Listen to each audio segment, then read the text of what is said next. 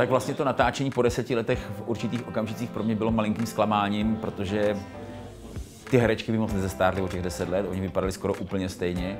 Samozřejmě nejkrásnější je to vidět na, dě- na dětech, když v roce 2013 uh, bylo jednomu dítěti 6 let, druhému 11 a třetímu holčičce bylo uh, 13 let, tak najednou přece jenom ten skok na 22, 20 a 15 let je velký, takže u těch dětí to bylo fantastický. Já rád mám, když jsou věci živý, tak jsem využil toho, že ta možnost jde a u nás tady v ateliérech jsme dotočili další závěrečnou scénu k filmu. Co budeme dělat příště?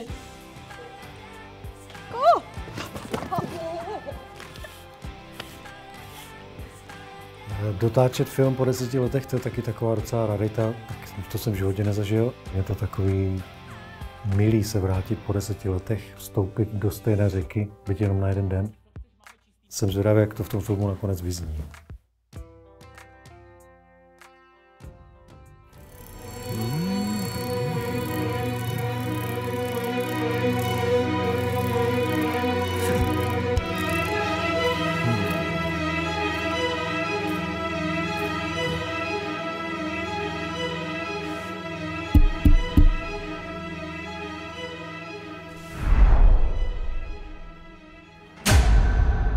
Tajemství a smysl života.